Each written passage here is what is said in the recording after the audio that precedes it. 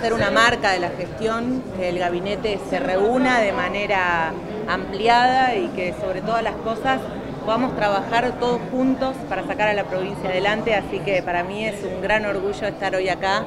con el gobernador electo para dar el inicio a esto que, que llamamos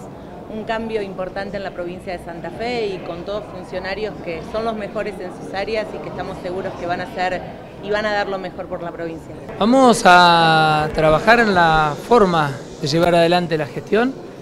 que se va a basar en pilares como la honestidad, como la austeridad y como el trabajo permanente, ponerle el pecho, dejarle muchas horas de nuestro tiempo, de todos los funcionarios, para poder sacar la provincia adelante, que se va a basar en la planificación, en la construcción de políticas públicas,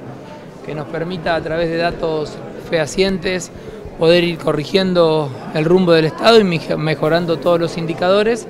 en las principales problemáticas que vamos viendo. ¿Cómo afectaría a la provincia este contexto de, de esta inflación que anticipó el presidente electo a nivel nacional?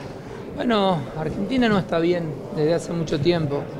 Tenemos un alto nivel de inflación con algunos meses de recesión, lo que nos lleva al peor de los escenarios, la estanflación.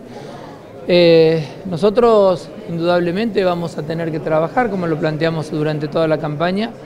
en tener un Estado mucho más eficiente, por supuesto en reducir los gastos que tiene el Estado, por eso hablaba de la, de la austeridad, de la honestidad que tenemos que tener los funcionarios, pero que también tiene que haber en la administración pública de todos los empleados. Ser más eficiente significa mejorar los recursos que tenemos y esos recursos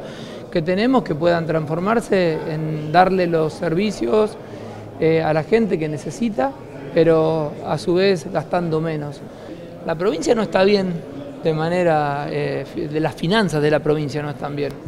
Entonces, indudablemente, nosotros vamos a trabajar para sostener el salario de los trabajadores, pero en unas condiciones que no son fáciles. Eh, hubo una ley que votaron los legisladores del justicialismo en el Congreso de la Nación que le retraen muchos recursos a la provincia de Santa Fe. Y nosotros eh, a eso lo vamos a discutir. Y eso nos pone en una situación compleja aquí en la provincia. Pero vamos a ponerle todo el esfuerzo, toda la voluntad y vamos a utilizar todas las herramientas financieras para que los empleados públicos puedan estar bien.